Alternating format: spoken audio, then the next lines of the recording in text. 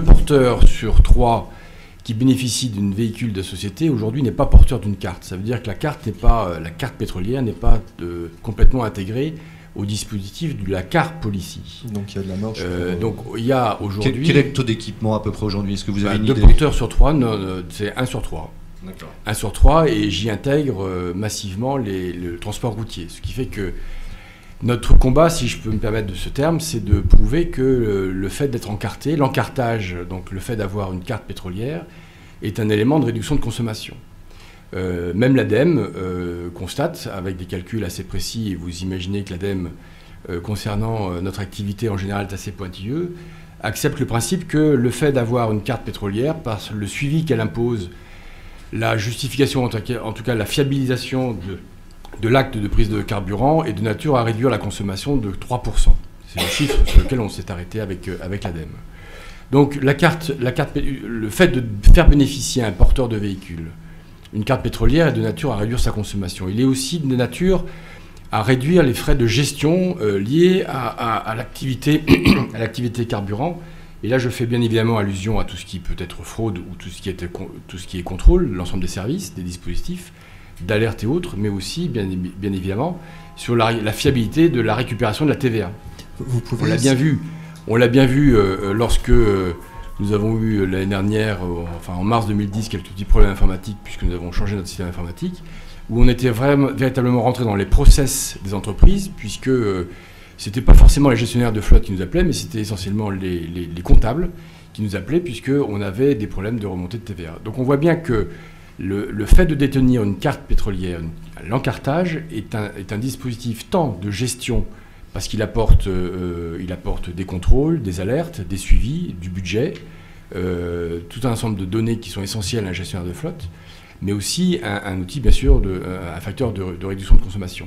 Fondamentalement, dans le choix de passer à une carte policy, intégrée à une carte policy, bien évidemment, le choix de l'ensemble des dispositifs de service bien sûr de la négociation de tarification spécifique à chaque entreprise en fonction de son potentiel et ses délais de paiement, mais aussi euh, euh, du dispositif de contrôle et de fiabilisation de la TVA font partie effectivement des actes majeurs de décision, de décision de passer ou d'encarter, euh, comme on dit dans le jargon, les bénéficiaires des cartes. Et puis il y a un troisième, élément qui est, qui est déterminant pour nous. On va y revenir puisque vous avez dans le, c'est le troisième levier. Là, je rejoins ce qui a été dit précédemment c'est notre contribution à, l'amélioration du comportement de conduite. Il est clair que dans les années 80, euh, on a beaucoup, euh, beaucoup joué sur la vitesse, puis euh, bien évidemment sur l'alcool. Les entreprises ont eu des politiques en ce sujet. Il y a eu ensuite le, téléphone. Et aujourd'hui, il n'est pas illogique, il n'est pas infondé qu'une entreprise demande à ses bénéficiaires, dans le cadre de son entreprise, un type de comportement de conduite. Or, on bute très concrètement sur une, application euh, euh, assez opérationnelle de cette politique, c'est euh, qui va le faire dans l'entreprise? Est-ce véritablement le rôle du gestionnaire que vous soulignez? Est-ce à lui de demander aux bénéficiaires de véhicules d'avoir des, améliorations dans le comportement de conduite? En clair, de moins accélérer, de mieux freiner, de plus anticiper, bref, d'avoir un comportement de conduite que l'entreprise est censée attendre est-ce au DRH Est-ce au directeur commercial Est-ce à la hiérarchie directe bon. Donc on a réfléchi, nous on, pense que, euh, notamment via les nouvelles technologies, on est en situation de pouvoir, c'est ce qu'on est en train de faire, euh, danser des nouveaux services qui vont ressembler un petit peu à de la télématique embarquée, c'est-à-dire c'est l'envoi mensuel ou trimestriel, avec l'accord bien évidemment de l'entreprise, euh, de la nature du comportement de conduite de chaque bénéficiaire, ce qui est de nature aussi à savoir que tous les mois, vous allez pouvoir être classé dans votre comportement de conduite, un peu comme, excusez-moi, des machines à laver. Est-ce que vous êtes euh, ce trimestre en A, en B, en C? Est-ce que vous avez amélioré? Quelle est votre production de CO2, de CO2 Et on le fait en parallèle, bien, bien évidemment, avec l'accord du gestionnaire de flotte. Mais on a des bases de données très fortes qui nous permettent de contrôler, de pouvoir euh, comparer chaque comportement de conduite, qui est un outil complémentaire et qui est de nature à, permettre une amélioration significative. Nous l'avons fait avec un grand groupe, pas ici présent on est entre 5 et 10 de réduction de conduite.